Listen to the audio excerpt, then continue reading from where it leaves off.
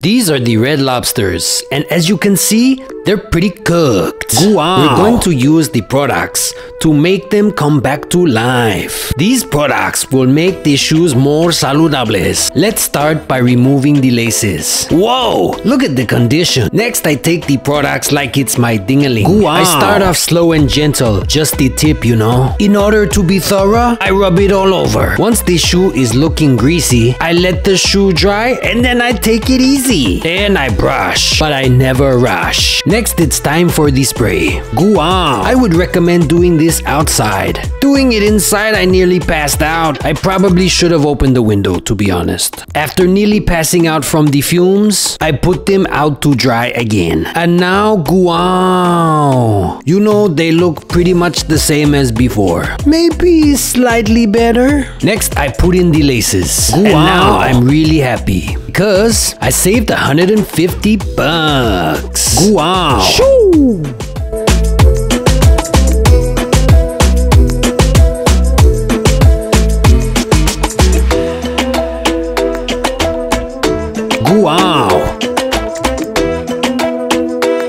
Gua, gua.